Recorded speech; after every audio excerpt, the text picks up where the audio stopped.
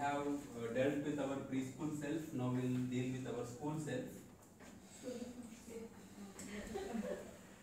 So, the ego strength here is competence.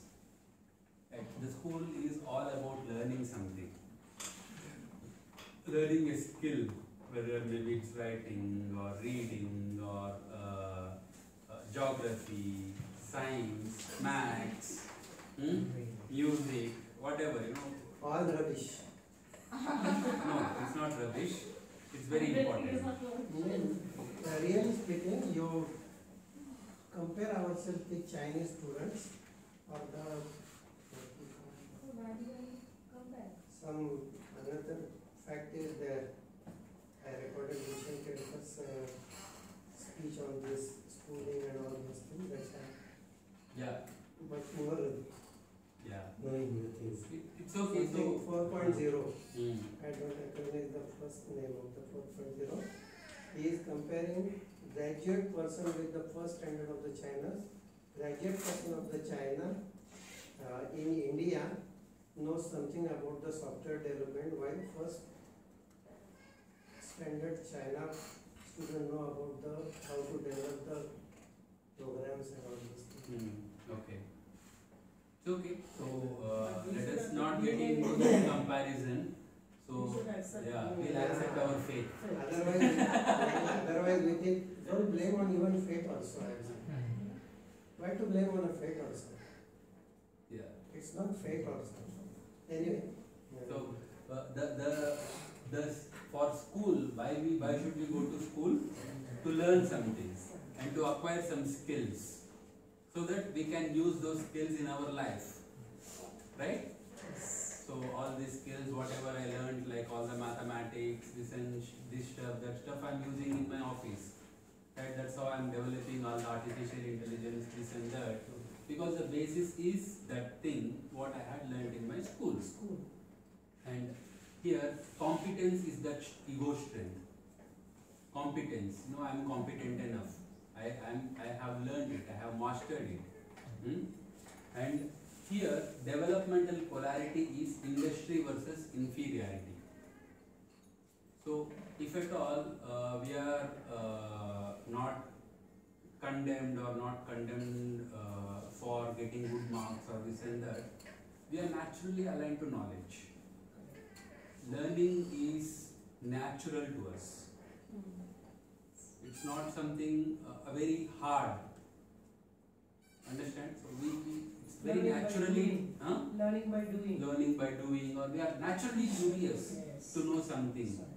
So if, if we are instead of that we are trying we, we were more made into a machines of getting good marks memorizing concepts and you know comparing Uh, so one guy gets first rank other guy gets second rank so there is a lot of this inferiority complex being developed so uh, in this here if at all we are uh, respected our own natural learning abilities and you know uh, there is always the saying you know a fish cannot be judged by how it can climb the trees Yeah. fish if you give a task of fish to swim it will win Yeah. or if you ask a fish to climb the trees it cannot do that Yes. So most of the times, uh, this is what happens in our schools. Like you know, we they instead of knowing us or instead of helping us, uh, they will try to push us into some kind of thing which you are naturally not good at. So it's better we know what is what we naturally are good at and try to acquire those skills. And uh, if at all that happens, inferiority complex may develop, and we are not very much confident in uh, academics or in business or in career because there is a lot of inferiority complex. And otherwise, if we are not naturally aligned to our own skill set, our own nature, talent, automatically we will move towards industry. Industry means working hard. Industry means uh, practicing that knowledge, applying that knowledge. So primary challenges faced are judgment by one's peer, fitting in the society, competence, interdependence. So these are the primary challenges it faces during this time.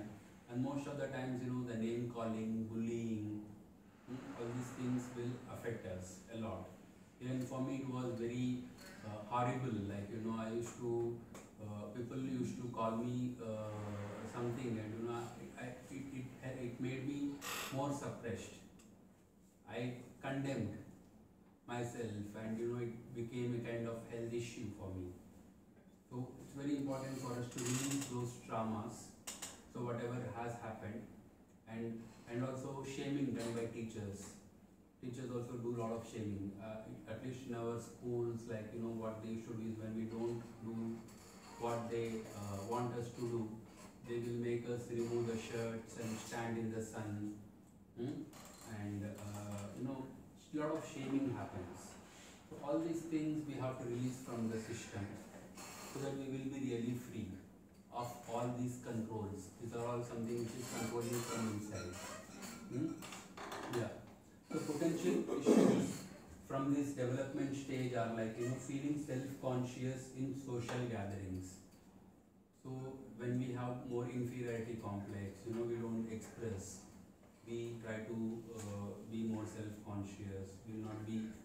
Uh, will not be uh, casual will not be free in social gatherings inability to complete something you have started so if, if at all industry and these kind of skills are not developed you start something and you end it so this, these kinds of uh, problems happen when your school self is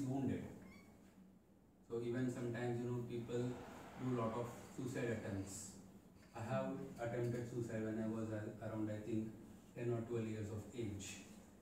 So uh, I think you had also shared uh, where, Twelve, yeah, 12, around 14, right? yeah. So there, there is a lot of this inferiority complex with marks and also uh, inferiority complex when people tell something to us, we get hurt. And these things uh, carry with, we, we carry these things with us. Hmm? It's important to heal all these parts of ourselves and